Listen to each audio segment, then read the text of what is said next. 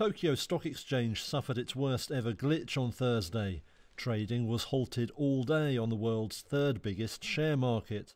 The exchange blamed the outage on a hardware problem in its Arrowhead trading system. It said there was also a subsequent failure to switch over to a backup system. The glitch marked the first full day suspension of the bourse since all electronic trading began in 1999. Smaller regional exchanges were also forced to suspend trading as they rely on the Tokyo systems. Japan Exchange Group, which runs the TSE, said it would replace hardware as part of steps to fix the problem. Supplier Fujitsu, which developed the trading system, says it is investigating what happened. Tokyo's roughly $6 trillion market ranks behind only New York and Shanghai. In the past, it had a reputation for technical problems and sluggish trading, but was seen to improve after new systems were introduced in 2010.